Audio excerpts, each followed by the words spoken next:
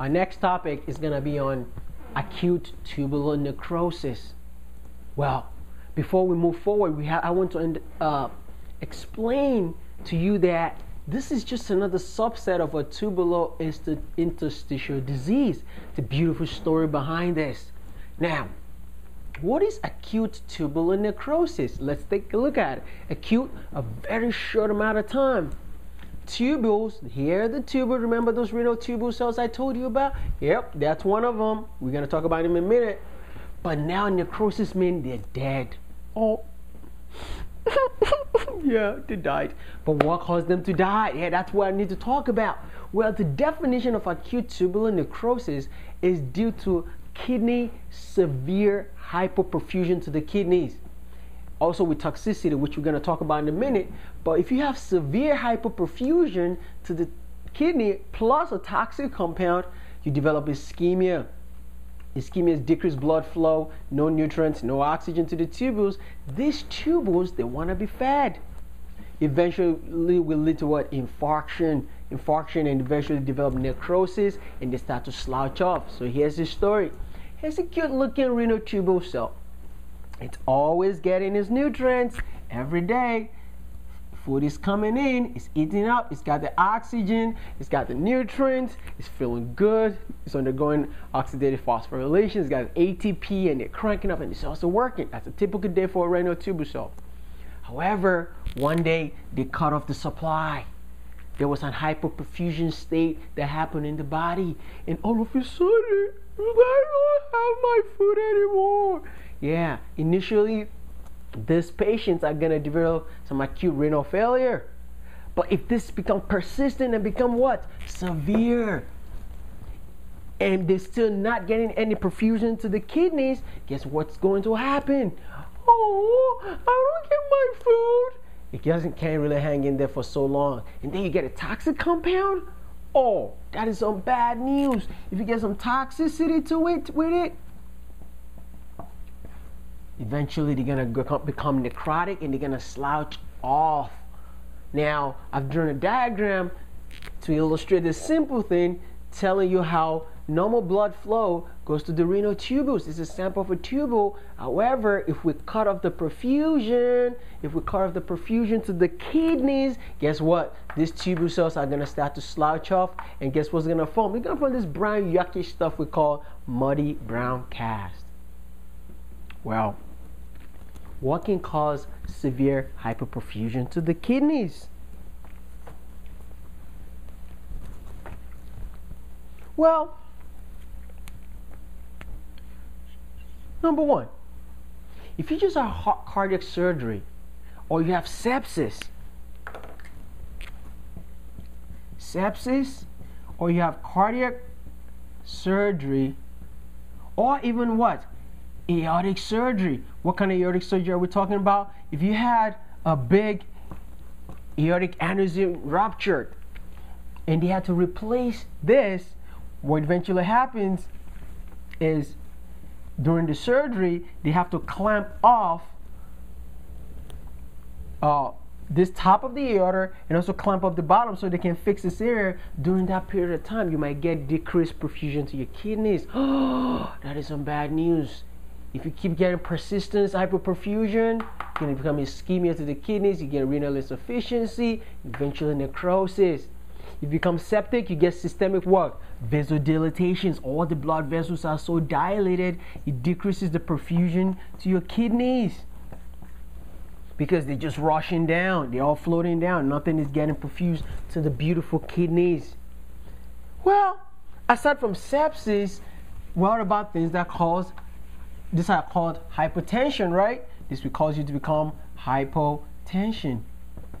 Well, you might say to me, wait a minute, Adeleke, yeah, if that's just hypertension, if I have like heart failure or if I have a hemorrhage, I can develop the same thing. But in this case, it's persistent, it's constant, it's constant, it's not going away. If I have hyperperfusion and I replace back the fluid in your vasculature when you're hypertensive, oh, guess what? It reverses. Drugs. Oh, what drugs are we talking about? Oh. Well, aminoglycosides. aminoglycosides like what? They're the main GLATs, right? The gentamicin, neomycin, amikacin, tobramycin. These drugs are aminoglycosides. They're very nephrotoxic. Guess who else? Cisplatin. The guy that makes you deaf and also damages your kidneys. Yeah, it's nephrotoxic. What about the drug we use for patients with fungal infection? Amphotericin B. The B is gonna blow up your kidneys. Remember, amphotericin B, cisplatin, aminoglycosides, these are toxic to your kidneys. So if you have toxicity from a drug to, to your tubules, right, it's like you've got the drug squishing up and damaging your tubules, and on top of that, we're not getting any blood flow, like all the blood supply has been cut off due to ischemia, right? Because you have hypertension and you're having decreased blood flow right? Decreased blood flow and decreased perfusion to the kidneys. This is going to cause your renal tubule cells to die. And when they die, they're going to slouch off. It has nothing to do with your glomerulus. The glomerulus are fine, only the tubules. Now, there's three phases for this renal tubule cells to develop and die and become necrotic.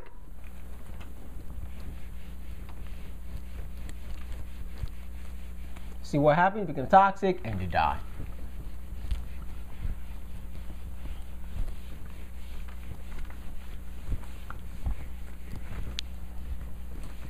Well, so since there are three phases, what do you think the first phase is going to be? Well, they have hyperperfusion to the kidneys right? So this is very acute onset. This is just new injury that's been happening. So this is called the prodromal phase.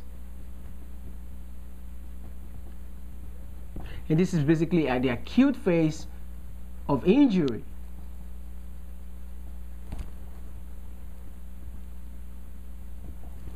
Now, this is the when the new onset renal failure is start to develop. Now, the second phase, since I'm having hypoperfusion to the kidneys, will I be able to pee? No. So if I don't pee, we call that what? Oliguria. By definition, it's usually less than what? 400 mLs in 24 hours. If you're not peeing up to 400 mLs in 24 hours, you're oliguric. Guess what? It gets worse. Now, if you're not making any urine at all, we call that anuric. At that point, you even make less than 100 mLs in 24 hours. That means, what does this mean? That means initially you had renal injury, or someone had, you had an acute renal failure, right? From hypoperfusion, but because it becomes more persistent, if I keep decreasing the amount of fluid going to my kidneys, to the glomerulus, I can't filter anything through the tubules. If nothing's getting to the tubules, nothing is coming out. That's how I develop oliguria. The last but not the least is the poly oliguric phase.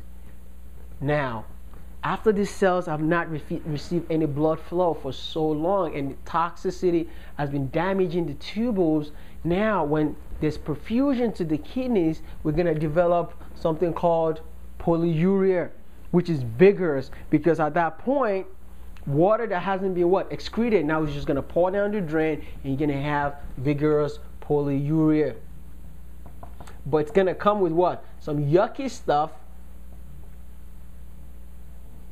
called muddy brown cast. Because think about it when all these cells die off and all the filtrations go through you're just going to wash all of them down and just they're just going to come out and you're going to peel this yucky looking brown muddy cast that's necrotic tubules that have died. Oh, I'm sorry.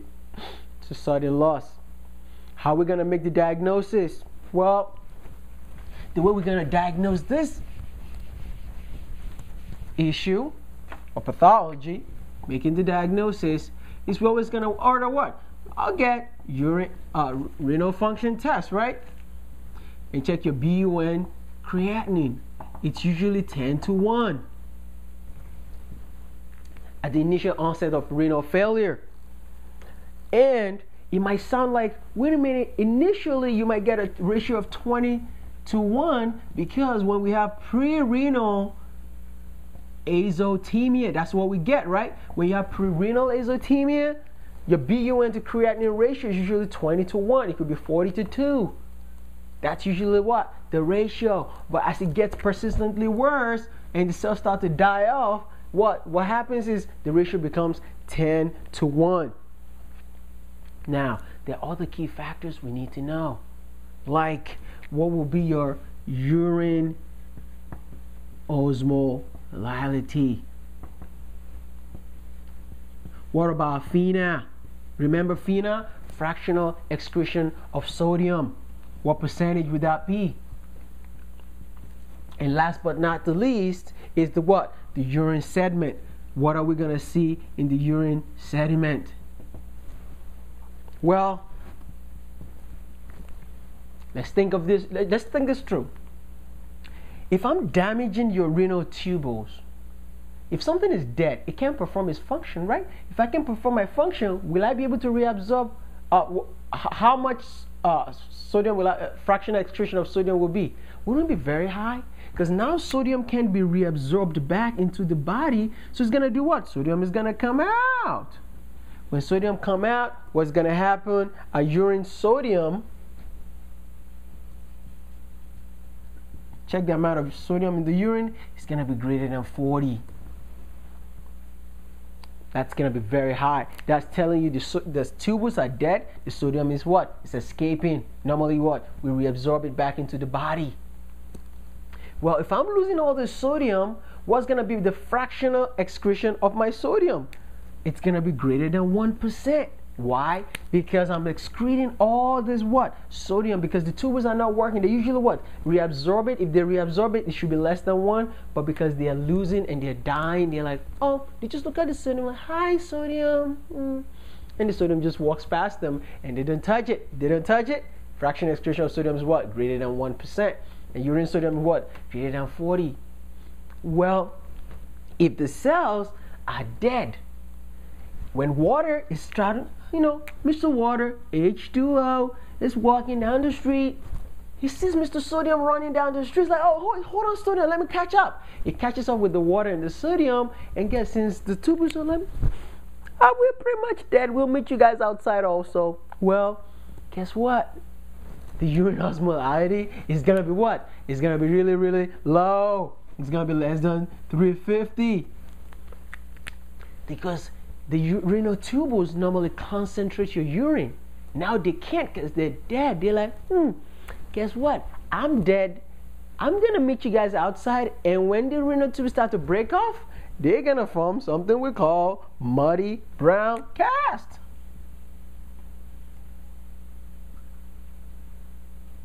Muddy brown cast. So this makes absolute sense. Cells are dead, everything walking by them, they're following. So it's like, you know what, we're gonna just move out, we're moving out. Well, muddy brown cast comes out. Sodium that's not supposed to be reabsorbed. Like, well, if that's the guy that's supposed to reabsorb me and he's not doing his job, I'm just gonna follow wherever he's going. Water said, hmm, wait a minute. Oh, sodium is going. I'm gonna follow sodium too what will follow sodium and then your urine osmolality is so dilute because it's not concentrated because the cell that's supposed to be doing the job basically is already dead and they're walking out. All right. So usually what are those? Those are the epithelial cells. Don't forget the epithelial cells are the tubular cells inside your tubules. Well, how do we fix this? Now that we know the cells are dead and everything is what slouching off, the BUN and creatinine what is elevated, and all of this is explaining what your diagnosis is. What do we do? The cells are dead. I mean, if the cells are dead, how am I going to treat it? Treatment. So, of acute tubular necrosis. Well, got some bad news. There's no therapy for acute tubular necrosis because the tissues are dead. Because we can't really reverse their renal failure at this point because the tissues we're trying to salvage, like having myocardial ischemia to myocardial infarction. If you're still ischemic, we might be able to save the tissue, but when the tissue is dead, mm, can bring them back from the grave. So there's really not much we can do. We can fix the underlying problem by doing what? If you're an aminoglycoside, stop the aminoglycoside. Right? Because that's what's toxic to your kidneys. Right? If you're taking amphotericin B, stop. Don't take it anymore. Well, if you're still what? Hyperperfusing your kidney, we can give you hydration. But at this point of the game, you know what? It's not really going to do much good other than maybe salvage the rest of the tissues that's not dead yet. So, if they if they've lost all the tubules in that inside their kidneys, guess what? We just lost entire sink. We can't filter anything anymore you're gonna have to go on dialysis. If they go into what? Severe renal failure, if they go into severe renal failure, at that point, they're gonna have to go to dialysis. Since your sink doesn't work anymore, we're gonna have to bring in a new sink, which is a machine. All right, and that's the end of acute tubular necrosis. Thank you very much for watching. Have a great day. 拜拜。